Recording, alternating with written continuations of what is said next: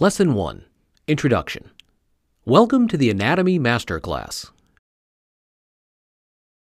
In this class, you will discover all you need to know about human anatomy. This knowledge will help you draw human figures and portraits more skillfully.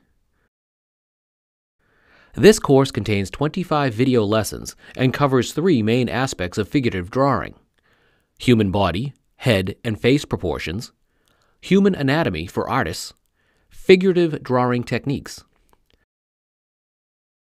You may already have some drawing skills.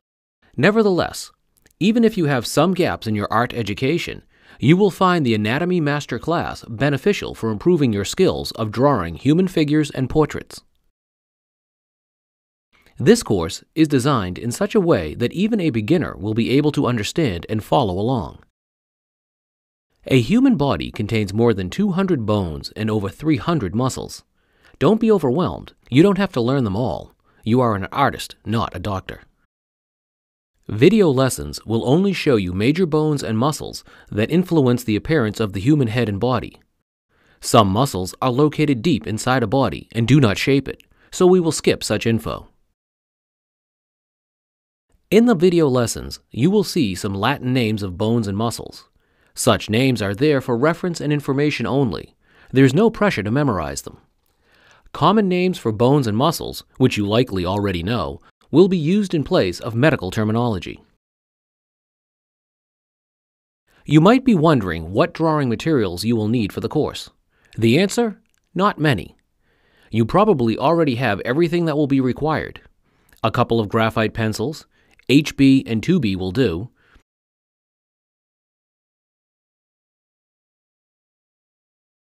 some drawing paper or a sketchbook,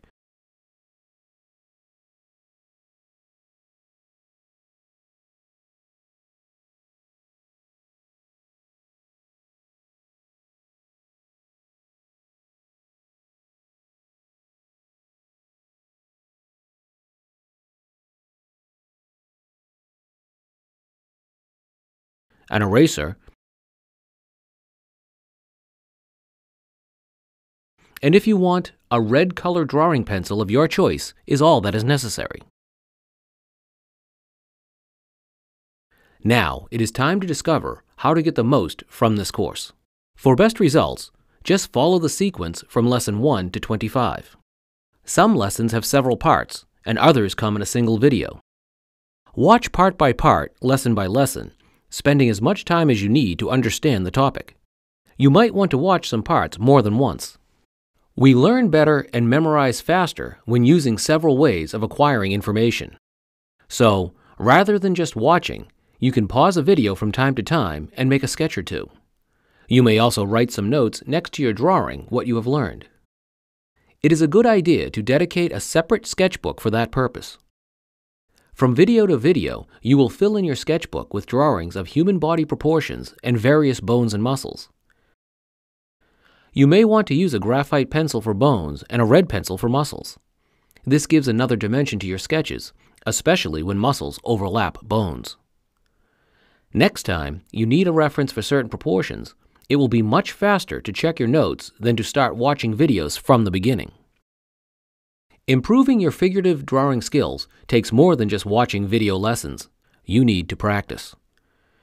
It would be ideal to find access to a live model session locally or to visit a traditional art museum nearby where you can practice drawing antique busts and sculptures. If neither is available, no worries. You always have yourself and people around you. You may draw self portraits and tell friends that you can draw their portrait for free.